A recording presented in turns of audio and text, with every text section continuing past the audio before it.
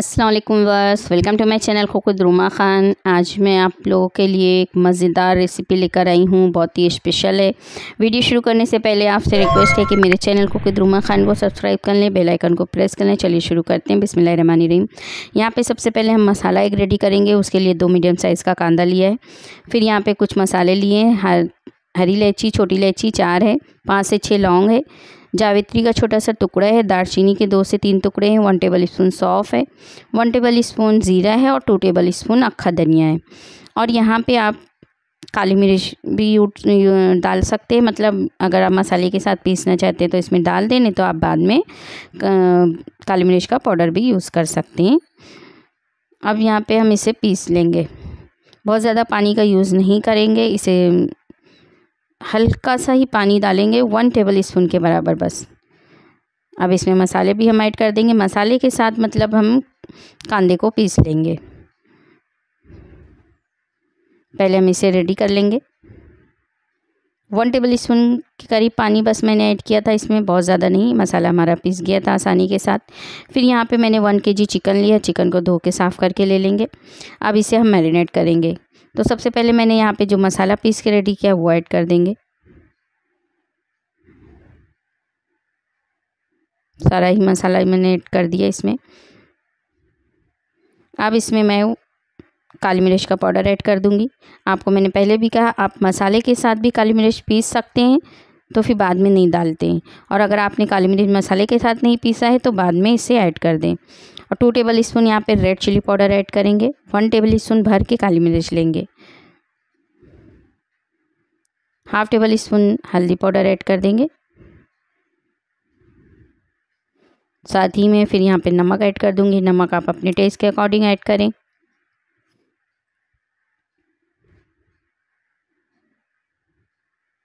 इसे मैरिनेट करके कम अज़ कम दो घंटे या एक घंटे के लिए ज़रूर रखें आप। फिर यहाँ पे one and half tablespoon अदरक लहसुन का पेस्ट ऐड किया है मैंने। फिर एक लेमन जूस जाएगा इसमें। थोड़ा सा हरा धनिया ऐड कर देंगे और साथ ही में मैं यहाँ पे कड़ी पत्ते ऐड कर दूँगी। फ्रेश ताज़ा कड़ी पत्ता लेंगे। अब इसे हम अच्छे से मिक्स कर लेंगे। चिकन को मसाले के साथ बहुत अच्छे से मिक्स करेंगे और इसे हम एक घंटे के लिए रख देंगे। फिर यहाँ पे मैंने पैन लिया है और उसमें three tablespoon oil add करेंगे। तीन बड़े चम्मच भर के लेंगे। कप के हिसाब से देखेंगे तो हाफ़ कप के बराबर ऑयल लिया है मैंने। अब यहाँ पे इसमें काजू को हम थोड़ा सा रोस्ट कर लेंगे।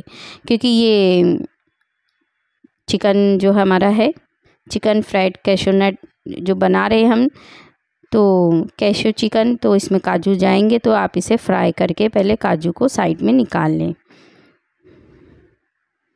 इस, मैंने काजू को फ्राई करके इसे मैं निकाल लूँगी।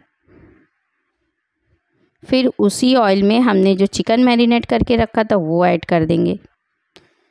रेसिपी बहुत ही सिंपल है, बहुत ही आसान है, लेकिन खाने में थोड़ा सा आपको एकदम अलग टेस्ट लगेगा और मज़े की लगेगी, थोड़ा सा डिफरेंट लगेगा। आप एक बार ज़रूर इस तरीके से बना के देखें। सिंपल सी, आसान सी रेसिपी है, बहुत ज़्यादा कोई एक्स्ट्रा चीज़ें इसमें नहीं जाती हैं। नॉर्मल से मसाला है जो हम घर पे यूज़ करते हैं डेली उसी मसाले में बनाया है। लेकिन वाकई में इसका टेस्ट इसका जो टेस्ट होता है वो बहुत अच्छा आता है। आप भी ट्राई करें एक बार ज़रूर। अब मसा, हम चिकन को थोड़ा सा भून लेंगे। फ्लेम को मीडियम टू हाई पे ही रखेंगे और मीडियम टू हाई पे हम इसे थोड़ी देर भूनेंगे। क्योंकि चिकन में ऑलरेडी पानी बहुत ज़्यादा निकलता है, मसाले भी हैं, हमारा कांदा भी है, साथ में पिसा हुआ। तो ये सब चीज़ों का जो पानी है, उसी में हम चिकन को भूनेंगे। हाई फ्लेम पे थोड़ी देर हम चिकन को भूनेंगे। खुला ही, आप देख सकते हैं। मैंने इसे अच्छे से भूना है। दो से तीन मिनट लगेंगे इसे भूनने में थोड़ा, और जब इसका पानी फिफ्टी परसेंट तक कम हो जाएगा बस इतना ही, एकदम ज़्यादा अभी हमें ड्राई नहीं करना है, क्योंकि चिकन को अब हमें गलाना भी है, पकाना भी है, अंदर से भी कुक करना है। तो बस अब हम ये स्टेज पे क्या करेंगे चिकन को ढक कर अब पका लेंगे। पानी का यूज़ हमने बिल्कुल नहीं किया है। अब इसे ढक देंगे और फ्लेम को मीडियम टू लो कर देंगे और इसे अब हम कुक होने देंगे, ताकि चिकन हमारा अंदर से भी अच्छे से गल जाए, देख सकते हैं आप। चार से पाँच मिनट के बाद इसे फिर से मैं चेक करूँगी। और इसे एक बार फिर हम ऊपर नीचे कर लेंगे। आप इसे चला लें बीच बीच में। चेक कर सकते हैं, आपका चिकन गल गया हो तो।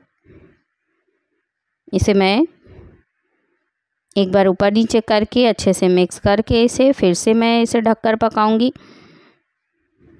ये देख सकते हैं, पानी भी इसमें ज़्यादा नहीं रह गया सब पानी ड्राई हो गया मगर पानी का अलग से यूज़ बिल्कुल मैंने नहीं किया। जो चिकन का और मसाले का पानी था, उसी में हमारा चिकन कुक हुआ है। अब इसे मैं फिर से ढक दूँगी। दो से तीन मिनट के लिए फिर से मैं ढकूँगी। क्योंकि ये बोन के साथ चिकन है तो थोड़ा सा पकेगा। पहले मैंने चार पाँच मिनट के लिए ढक के पकाया चार पाँच मिनट तक। फिर उसके बाद चेक करेंगे, दो तीन मिनट के लिए फिर से ढक देंगे। ये देख सकते हैं, चिकन हमारा एकदम गल गया है। आसानी से टूट रहा है मतलब चिकन हमारा अच्छा कुक हो गया है। और इसमें बहुत ज़्यादा ग्रेवी नहीं होती है, बस हमें इस तरीके का ही चाहिए। और एकदम आपको इसको भुना भी नहीं करना है, क्योंकि हम अगर रोटी और तंदूरी रोटी चपाती से खा रहे हैं तो थोड़ा सा इसमें हल्का सा ग्रेवी टाइप होना चाहिए, हल्की। अब इसके ऊपर कड़ी पत्ता ऐड कर देंगे थोड़ा सा हरा धनिया ऐड कर देंगे। फिर मैंने यहाँ पे हरी मिर्ची कट के ऐड कर दी है थोड़ी सी कसूरी मेथी ऐड कर दी है। ये ऊपर से हमारी चीज़ें सारी चली गई हैं। ये जब चिकन कुक होने के बाद मैंने ऐड किया है फ्लेम अभी हमारी ऑन है, लो पे है। फिर हमने जो काजू फ्राई करके निकाला था, वो ऐड कर देंगे। ये chicken fried chicken fried cashew, यानी गोल्डन चिकन फ्राई इसे बोलते हैं और बहुत ही मज़े की रेसिपी लगती है ये। आप लोग भी ट्राई करके देखें, अगर आप दावत स्पेशल भी बनाना चाहते हैं तो बना सकते हैं, क्योंकि मज़ेदार रेसिपी है। और आप देख सकते हैं, उसका लुक देख सकते हैं और उसका टेस्ट भी एकदम बहुत ही अच्छा था। ये हमारा चिकन रेडी हो गया है, अब इसे हम सर्व कर देते हैं। आप इसे तंदूरी रोटी या चपाती के साथ खा सकते हैं, मज़ेदार लगेगा। और आप लोग वीडियो को लास्ट तक ज़रूर पूरी देखा करें। और अगर थोड़ी भी वीडियो आप लोगों को अच्छी लगती है तो प्लीज़ लाइक का बटन ज़रूर प्रेस कर दिया करें। वीडियो पूरी देखते हैं लाइक नहीं करते हैं आप लोग तो लाइक भी किया करें। फ्रेंड्स एंड फैमिली में शेयर भी कर दिया करें। और चैनल पे नए हैं तो कुकिद रूमा खान को सब्सक्राइब कर दें बेल आइकन को भी प्रेस कर दें। इससे मेरी वीडियो की नोटिफिकेशन आपको मिलती रहेगी। अल्लाह हाफिज़।